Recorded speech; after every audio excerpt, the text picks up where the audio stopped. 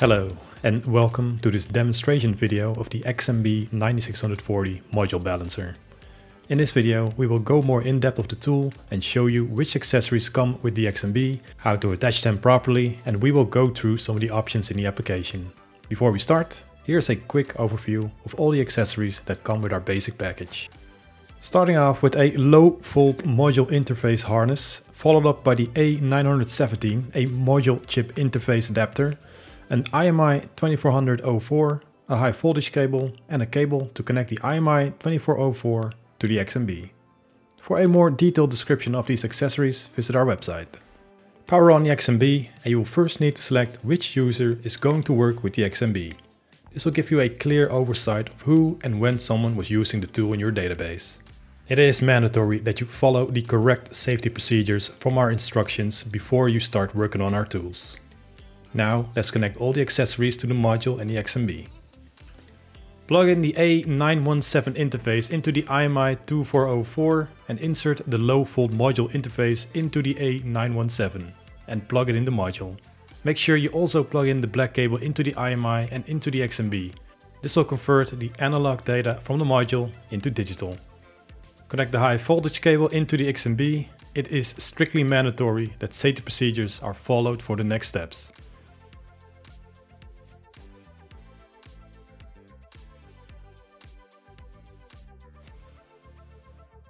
Use the thumb screws on the high voltage cable to connect the cable to the plus and minus side of the module.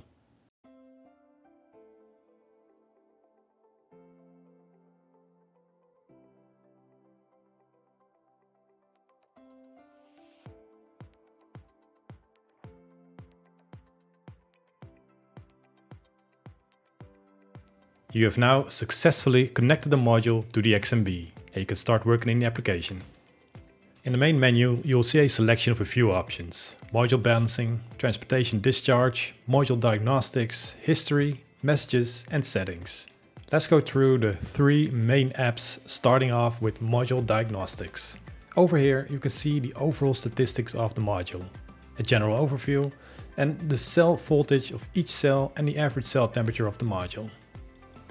The transportation discharge application is used to discharge the module to a safe state of charge level for transportation. Fill in your module type and you will notice a target voltage is already set and cannot be changed. Press next. And after initialization, the XMB will show an overview of your module. By clicking next, the XMB will now discharge the module to a safe state of charge level. If for any reason you need to stop, press stop on the bottom right. The module balancing application is used to balance the module up to your desired state of charge level. Select the module type and fill in the information of the module or simply scan the module with our wireless barcode scanner and set your target voltage. Notice that the XMB will warn you if your target voltage is too high or too low. Once you have set a correct desired target voltage, press next. After the initialization, the XMB will now balance the module to the desired target voltage. When the module balancing is done, you can see the results and you can also choose to email your results. Here is an example of such an email. In the History tab you can find back your old results and who performed them. In the Messages tab you can find back previous error messages or other messages that have occurred. In the Settings tab you change several settings, like your Wi-Fi add an email address to your address book, setting your preferred language, adjust the brightness, set your preferred unit for the temperature, set your date and time, put in your company name and address so you don't need to fill it in every time. And of course you can see which version you're on and you're able to also reset the device to the factory settings. This has been our demonstration of the XMB 9640 module balancer.